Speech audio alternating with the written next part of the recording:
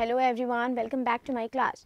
In the last class, I have explained you about the two different types of or the two major uh, types of plant tissues that are meristematic tissues and dermal tissues. Now let us move to the next tissue that is ground tissues. Ground tissues are the group of cells or it's a type of tissue which is present in the plants and it forms the bulk or the base of the plant body. It gives the main base to the plant body and it also helps in giving support and shape to the plant cells. As it is helping in giving uh, support and uh, shape to the plant body, it forms the main base of the pulp so, these are the group of tissues which forms the base of the plants and these ground tissues also helps in the storage of food material and certain ground tissues are also involved in carrying out the processes, the main important processes of the plant body like photosynthesis. Let us talk about the different types of ground tissues which helps in carrying out the different processes in the plants. So, the ground tissues are classified into three main types and they are parenchyma, collenchyma and sclerenchyma. So, the ground tissues can be classified into three main types parenchyma, collenchyma and sclerenchyma. When we see the structure of parenchyma tissues, we can observe that the cells of the parenchyma are loosely arranged and they are thin walled. The parenchymatous tissue shows the cells which are thin walled and which shows some intercellular spaces between them. That means they are loosely packed, they are not compactly arranged. They are loosely packed and showing some intercellular spaces in, the, in its structure. And this parenchyma helps in carrying out the photosynthesis. It also shows some air spaces in its structure and it also helps in storing the food material in it. So, based on these functions, it is again classified into three types and they are chlorenchyma, aerenchyma, storage tissues. The parenchymatous cells which are found in the surface or at the surface of the leaf and that parenchymatous cells contain chloroplast in its structure. The chloroplasts are the organelles which contain a pigment named chlorophyll and that pigment chlorophyll is responsible for imparting green color and it also responsible for carrying out the process of photosynthesis and this photosynthesis process helps the plants to make their own food. So, the plants can able to make their own food by the presence of some specialized parenchymatous cells that contain chloroplast in it and that type of parenchymatous cells are called as chlorenchyma. The next one is aerenchyma. The parenchymatous cells or the tissues shows some air spaces for the exchange of gases and that air spaces or the parenchymatous cells which shows the air spaces in its structure are termed as aerenchyma and the last one is storage tissues. The storage tissues as the name itself indicate that it helps in the storage process. So, the food material can be stored in the parenchymatous cells that are known as storage tissues. Let us move to the next one that is collenchyma.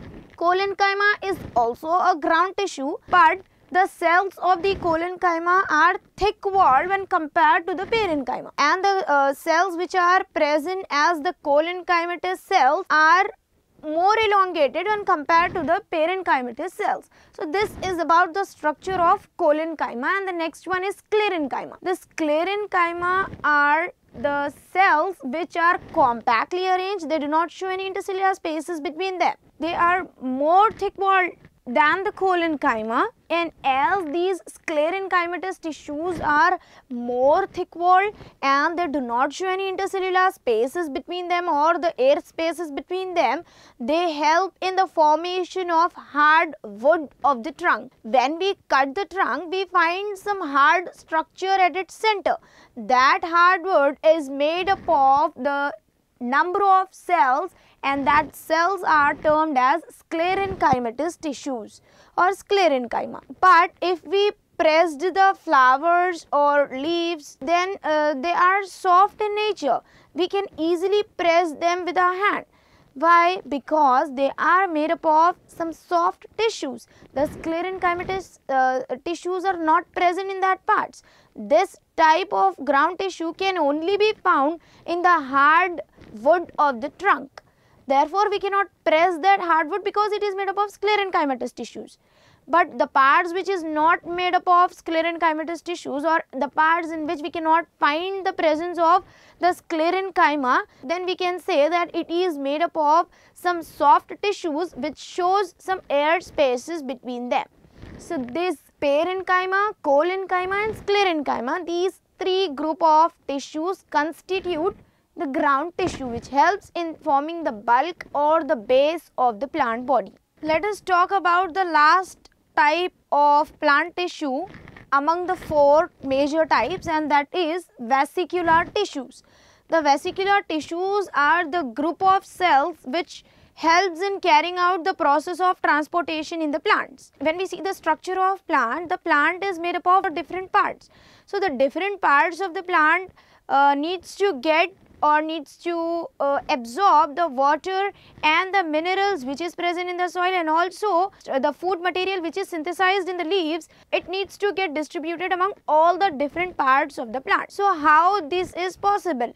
So, the transportation of water minerals and food materials throughout the plant body is going to be achieved by the presence of some tissues called vesicular tissues. So, these vesicular tissues helps in the transportation of materials among the different cells of the plant. When we see the leaves, we know that leaves are the sites for photosynthesis. So, when the leaf has to perform photosynthesis, it needs some water and the water which is present in the soil uh, has to be absorbed by the roots and then the roots needs to uh, transport that water to the leaves in order to achieve the process of uh, photosynthesis. So, this transportation of water from the roots to the leaves is also be possible by the presence of these vesicular tissues. So, the roots after absorbing the water from the soil, it uh, the water reaches to the xylem vessels and that xylem vessels are nothing but the vesicular tissues which helps in carrying out the transportation of that water to the leaves. So, that water is going to be utilized by the leaves to carry out the process of photosynthesis. And after the production of carbohydrate or after the formation of the food material in the leaves, the food which is uh, prepared by the leaves is glucose and that glucose needs to be converted into starch. When the conversion of glucose into starch takes place, that starch has to be transported to the storage organs of the plant. So, the transportation of storage material or the starch from the leaves to the other storage organs in the plants is also carried out by these vesicular tissues. These vesicular tissues are classified into two main types of tissues and they are xylem tissues and phloem tissues. Xylem tissues are the vesicular tissues or the conductive tissues which helps in the transportation of water and the minerals from the soil to the different parts of the plants. And when we talk about the next type of vesicular tissue that is phloem, the phloem is a type of conductive tissue which helps in carrying out the conduction of food material. The food material which is prepared in the leaves is taken and it is transported to the different parts of the plant through these phloem tissues. So, the vesicular tissues are of two types xylem and phloem. Xylem is responsible for the conduction of water and minerals and phloem is responsible for the conduction of food material. Now, let us talk about the structure of xylem tissues. Xylem tissues shows xylem vessels, xylem tracheids and some xylem parenchyma and also xylem fibers. When we observe the structure of xylem vessels, we can see this elongated structure and at the ends perforated plates are present which are called as xylem plates and this is an elongated cell. This is called as xylem vessels. And when we observe the structure of xylem tracheate, it is an elongated one and this elongated structure is xylem tracheate and the thin fiber like or thread like structure is called as xylem fiber. So, this is about the xylem vessels, xylem tracheates and xylem fiber. These are the different types of xylem tissues which helps in carrying out the transportation of water and the mineral ions from the soil to the different parts of the plant. Now when we see the structure of phloem tissues, it is also showing some sieve tube cells, companion cells and phloem parenchyma. Sieve tube cells are also elongated cells showing some perforated plates at its end and these perforated plates are termed as sieve plates and along with the sieve plates some cells are attached to it or some cells are present along with these uh, sieve tube cells and that cells are called as companion cells. So, these uh, two types of tissues are playing a major role in carrying out the transportation of materials inside the plant body and when we uh, see the role of the xylem tissues can be able to carry the water up to a greater heights. When we see the animals or when we look at the body of the animals, the animals is composed of some specialized pumping organs like heart. Heart is responsible to pump the blood to the different parts of the body. But in case of plants, we do not find any special pumping organ in it. There are some specialized tissues called xylem and phloem which are responsible to carry the materials up to the greater height. So, these xylem tissues and the phloem tissues are playing an important role in transporting the materials up to the greater heights in the plants or in the trees. So, this is about the vesicular tissues. Let's have a quick recapitulation of all the four major types of plant tissues that we have studied in the chapter plant tissues. We have studied about the definition of tissues. The tissues can be defined as the group of cells that are similar in structure and that group of cells perform similar function in the body of the living organism. In this lesson plant tissues we have also discussed about the two types of microorganisms that are unicellular microorganisms and multicellular microorganisms. Unicellular microorganisms are the one which have only a single cell throughout the life and that single cell is responsible to carry out all the activities and the processes in the body of the living organism. Whereas the multicellular microorganisms are made up of thousands or millions of the cells and this multicellular uh, microorganisms are made up of different types of cells in order to carry out the different functions.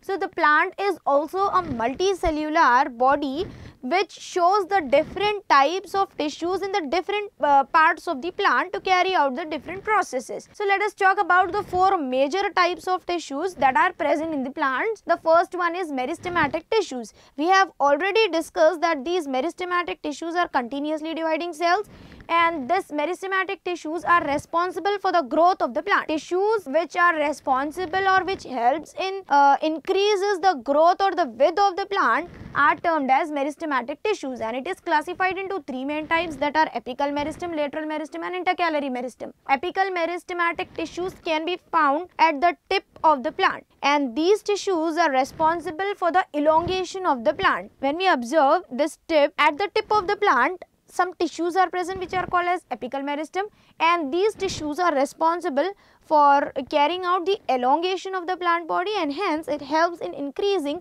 the height of the plant. The next one is lateral meristem.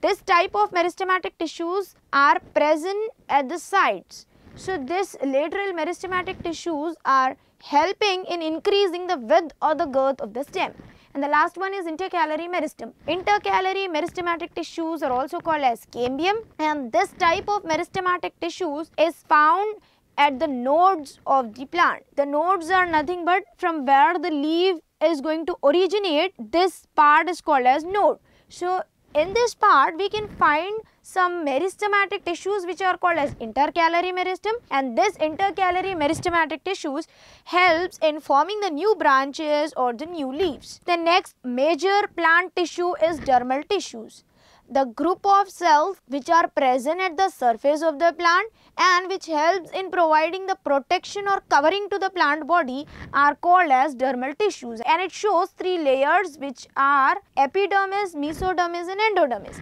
The outermost layer is called as epidermis, the middle layer is mesodermis and the innermost layer is called as endodermis. The outermost layer epidermis shows some specialized structures in its layer when we observe the structure of epidermal cells of the leaf, we can find some pores and that pores are called as stomata and that stomata is responsible for carrying out the exchange of gases. And when we observe the epidermal cells of the roots, it helps in carrying out the absorption. The root hairs which are present at the epidermal cells are helping in carrying out the absorption of water and minerals. So, this is about the epidermis of dermal tissues. Next, let us move to the next one that is ground tissues and these ground tissues are the group of cells or the tissues which helps in forming the base or the bulk of the plant and it helps in giving support to the plant. It is divided into three main types that are parenchyma, collenchyma and sclerenchyma. The cells which are thin walled and which show some air spaces, that type of cells are called as parenchymatous cells and this parenchymatous cells based on its function it is again classified into three main types that are chlorenchyma, aerenchyma and storage tissues. The parenchymatous cells which contain chloroplast in it and which helps in carrying out the photosynthesis are called as chlorenchyma and the parenchymatous cells which shows air spaces in it or the air cavities in it are called as aerenchyma and the parenchymatous cells which helps in storing the food material are termed as storage tissues. The next is collenchyma. This type of ground tissue shows the cells which are thick walled when compared to the parenchyma and these collenchyma cells are more elongated than the parenchymatous cells. The last one is sclerenchyma. This sclerenchymatous tissues are always present in the hard parts of the plant because it forms the hard woody trunk of the plant. These type of tissues are very thick walled and it do not show any air spaces or the intercellular spaces between them. It is compactly arranged. This is about the ground tissues. The last one is vesicular tissues which is classified into two main types that are xylem tissues and phloem tissues. Xylem tissues are the group of tissues which helps in carrying out the transportation of water and the mineral uh, from the soil into the plants and phloem tissues are the type of vesicular tissues which helps in carrying out the transportation of food material. The food which is prepared by the leaves is going to be distributed by these specialized phloem tissues. With this, we have completed our lesson plant tissues. Thank you.